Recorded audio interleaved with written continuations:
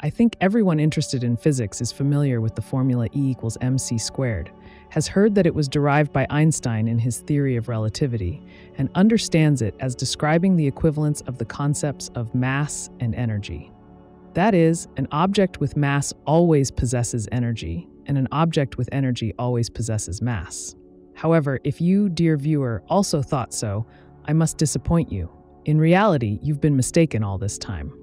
Let's start with the fact that this formula was not actually created by Einstein, but by Henri Poincaré, and this happened five years before the theory of relativity, back in 1900. But that's only part of the problem. The bigger issue is that the physical meaning of this formula is often misunderstood, or rather, not entirely correctly understood. While it is true that any object with mass possesses energy, not every object with energy possesses mass. To be precise, in some cases, objects with energy do behave as though they have mass, but this isn't always the case. Carelessly applying the formula E equals mc squared to convert energy into mass can lead to completely incorrect conclusions. We've touched on the topics of mass, energy, and relativity indirectly in several of our previous videos. However, Judging by the comments, and especially the questions from subscribers and private messages, I realized that a separate video dedicated to this topic is necessary. So in this video, we will figure out what the formula E equals mc squared actually means, how to correctly understand and use it, and most importantly, in what cases mass and energy are equivalent concepts, and in which they aren't, and why. In everyday life, we often use mass as a measure of the amount of substance, However, if we try to apply this approach in science, physicists, and especially chemists, will promptly correct us. They have a separate unit for measuring the amount of substance, which is measured in moles and defined as the number of structural units, e.g., atoms or molecules, in a specific portion of that substance. That said, each molecule has a mass, which, in the case of a pure substance, is identical. Additionally, in classical physics, mass is an additive quantity, meaning that the mass of a system consisting of several objects equals the sum of the masses of those objects. Specifically, the mass of a given quantity of substance can be determined using the formula where nu is the amount of substance and m capital is its molar mass, a characteristic of the given substance. Therefore, in classical physics, there is indeed a direct and unambiguous relationship between mass and the amount of substance. Since mass is technically easier to measure than counting molecules, using mass as a characteristic of the amount of substance has become a widespread practice. But what exactly is mass from the perspective of physics? In school level physics, this fundamental concept is given two essentially unrelated definitions. First, we're told that mass is a measure of an object's inertia, that is, a measure of how much force is required to change the object's velocity more precisely, its momentum, by a certain amount. It is in this sense that mass appears in Newton's second law, as well as in classical formulas for kinetic energy and momentum. Secondly, we are also told that mass is a measure of the gravitational interaction between bodies. In this sense, it appears in, for example, Newton's law of universal gravitation, where the gravitational force between two bodies is proportional to the product of their masses. Thus, we essentially have two different types of mass inertial and gravitational. For reasons that remained a mystery for a long time, these two masses are always equal to each other. However, in the theory of relativity, we encounter the fact that neither the concept of gravitational mass nor that of inertial mass is applicable, at least not in the way we are accustomed to applying them in classical mechanics. Let me explain what I mean. In classical mechanics, I remind you, we used to write the following formula for an object's momentum. However, in reality, this familiar school formula is incorrect, or rather, it works only for low velocities. In the general case of arbitrary velocities, including very high ones, we need to use the following formula, in which momentum depends on velocity in a somewhat more complex way. At low speeds, the ratio v divided by c, and especially the square of this ratio, is a very small number which can be considered equal to zero, and we obtain the familiar school formula.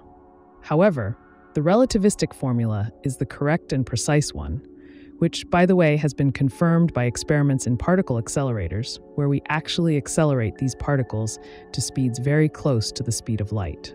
To avoid carrying all these fractions and roots, in relativistic mechanics, such abbreviations are often used. The ratio of an object's speed to the speed of light is denoted as beta. The quantity obtained by dividing 1 by the square root of 1 minus beta squared is commonly denoted as gamma. One could say that beta indicates the extent to which relativistic effects should be considered for a given object, and gamma allows us to estimate the magnitude of these effects. Now let's see what happens to classical physics expressions, such as Newton's second law, as a result. In school, we write it like this, but even in university level classical mechanics courses, it is more often written in this way, through the time derivative of momentum. It is not difficult to see that in classical mechanics, these are the same.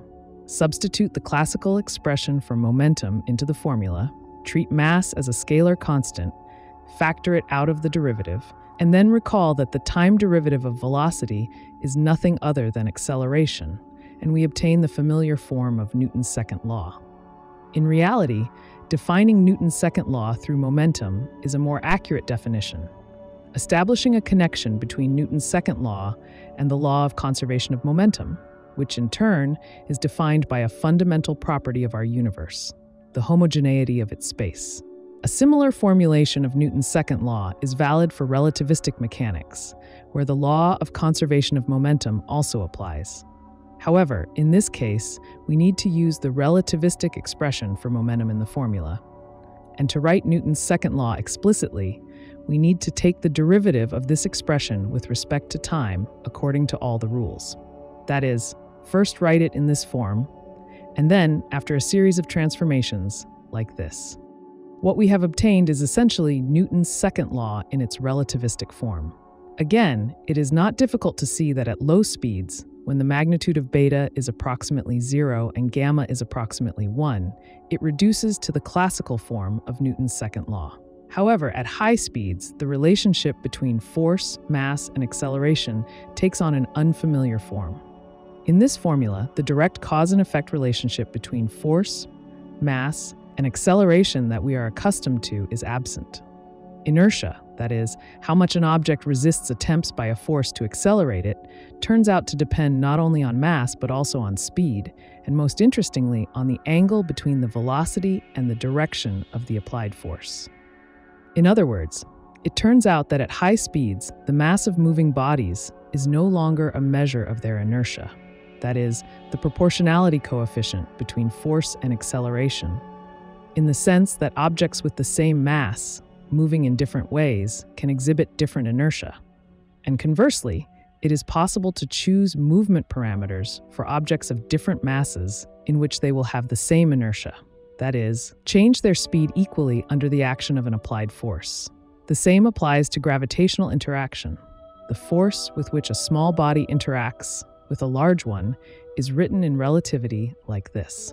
And even if we substitute energy in the form of E equals mc squared here, which generally speaking should not be done for reasons we will describe below, we will see that even here, mass can no longer fully characterize the gravitational interaction of bodies at different distances from each other, because this interaction is also determined by velocity, and how this velocity is directed relative to the vector r connecting the centers of mass of the interacting bodies. But if none of the classical definitions of mass are applicable in relativistic mechanics, then what is mass from the perspective of the theory of relativity? In relativity, mass is understood as a quantity that links the energy and momentum of a particle according to a formula like this. In fact, E equals mc squared is merely a special case of this formula for the situation when the system's momentum is zero. This gives us the statement that any body possesses energy if it has mass. As for the classical definitions of mass as a measure of a body's inertia or its gravitational interaction, which we learned in school, they follow from this definition of mass in the limit of low speeds, that is, small values of kinetic energy and momentum. That is why they are equal to each other and not just equal, but represent the same quantity, simply viewed from different perspectives. And from this, it becomes clear that a body possessing energy also possesses mass, equal to its energy divided by the square of the speed of light, in only one specific case, when the body's momentum is zero, that is, for a stationary body. In all other cases, applying the formula E equals mc squared is simply mathematically incorrect. Let's test this formula using the popular claim that a photon has no rest mass, but possesses an energy mass, equal to its energy divided by the square of the speed of light. The energy and momentum of a photon are defined by these formulas. Substituting them into our equation gives us zero. Thus, in the theory of relativity, the mass of a photon is zero, and there is no such thing as an energy mass for a photon equal to its energy divided by the square of the speed of light. Now, let's analyze the same situation for a massive body with a rest mass m0. Will it possess some additional mass if we give it kinetic energy? For a body moving at a velocity v, the sum of its kinetic energy and rest energy is given by this value, while its relativistic momentum is given by this expression. Substituting into the formula, we factor out the rest mass from the brackets and under the square root. Through a series of straightforward transformations, we find that the value under the square root equals 1. This means that the body's mass is always equal to its rest mass. In other words, there is no other mass besides rest mass. That is, the mass when momentum is zero, so there's no need to unnecessarily multiply entities. Mass is mass, singular and unique, and its product with the square of the speed of light equals the rest energy, that is, the energy of a body of a given mass when its momentum is zero. Where then did the term relativistic mass come from? A term that has migrated from textbook to textbook for decades. Even though specialists who actively use the formulas of the theory of relativity in practice do not use it. This concept arose from an attempt by some physicists to interpret the formulas of the theory of relativity for energy and momentum. Indeed, there is a tempting notion to say that this quantity, equal to the product of mass and the relativistic factor gamma, which depends on velocity, is relativistic mass, and that even in the relativistic case of high velocities, momentum, for instance, can be calculated using the old school formula as the product of mass and velocity, provided we substitute relativistic mass into these formulas instead of regular mass. In physics, we can introduce any terms, create any notations, and write whatever subscripts we like on letters. No one forbids us from doing so. The problem is that introducing relativistic mass fundamentally does not make our lives any easier. If such a substitution allowed us to restore, for example, the classical form of Newton's second law, then yes, it would be justified.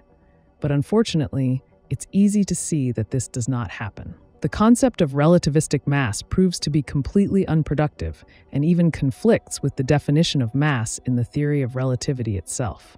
For this reason, I repeat, it is no longer used in practice, although it still occasionally appears in textbooks and lectures, thankfully, less and less frequently.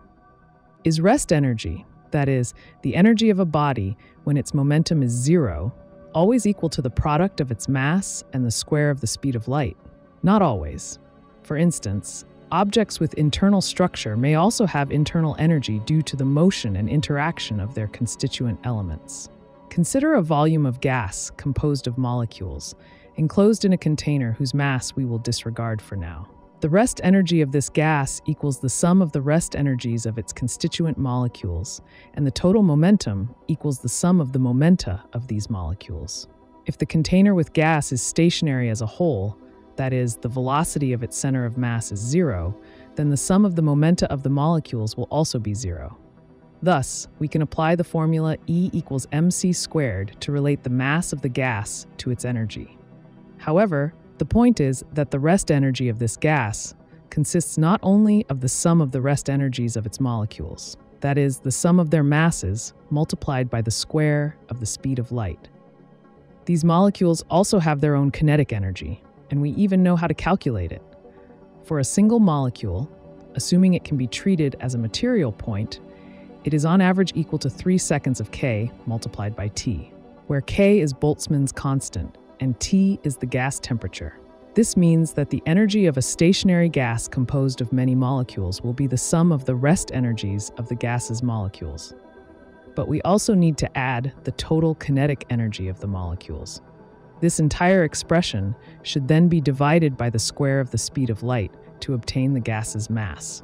We are justified in doing this because the center of mass of the system is stationary, meaning the total momentum of its constituent particles, the molecules, is zero. The mass of the gas will be slightly greater than the sum of the masses of its molecules. The most intriguing part is that the same gas will have a slightly higher mass if its temperature is a bit higher, and a slightly lower mass if its temperature is a bit lower. Of course, this increase is not very large. The rest energy of a nitrogen molecule, which makes up most of the air we breathe, is approximately 10 to the power of minus 10 joules, while its kinetic energy at room temperature is about 10 to the power of minus 21 joules.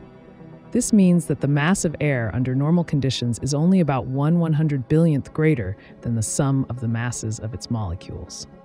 Nonetheless, it is essential to understand that mass in relativistic mechanics is no longer an additive quantity. That is, the mass of a system consisting of multiple bodies is generally not equal to the sum of the masses of these bodies. In cases where the total momentum of these bodies is zero, we can use the familiar formula E equals mc squared to calculate this mass. Interestingly, if we look at our formula for the mass of a composite body, we find that it can have mass even if the particles composing it are massless. For instance, imagine a vessel not filled with a gas of molecules, but rather a gas of massless photons endlessly bouncing off the perfectly reflective walls of the vessel. Photons have no mass, but do have kinetic energy. As a result, while the first term in our energy expression becomes zero, the second term will still be non-zero. The same principle applies to other massless particles, such as gluons, the counterparts of photons in the so-called strong nuclear interaction. Gluons have a unique property. They interact with one another and can, at least theoretically, form bound states called glue balls. These glue balls, composed of massless particles, must have mass according to the mechanism we discussed earlier. We covered glue balls in more detail in one of our previous videos. A link should now appear on your screen. For interacting particles, the situation becomes even more complex and fascinating, as the energy of such a particle ensemble will not only consist of the sum of their rest and kinetic energies, we must also account for the interaction energy between them. Accounting for this energy is a captivating and intricate process, leading to remarkable phenomena underpinning the entire physics of atomic nuclei and consequently all atomic and thermonuclear energy. However, this topic warrants a separate discussion, and we will undoubtedly explore it in one of our future videos. If you enjoy the content on our channel, I would be delighted if you consider becoming a sponsor, either here on YouTube or via our pages on Patreon or Boosty. A link to the latter should now appear in the upper right corner of your screen. A heartfelt thanks to everyone who already supports our project and to those who decide to join our sponsors today. That's all for now. Take care, dear friends, and see you soon in our upcoming videos.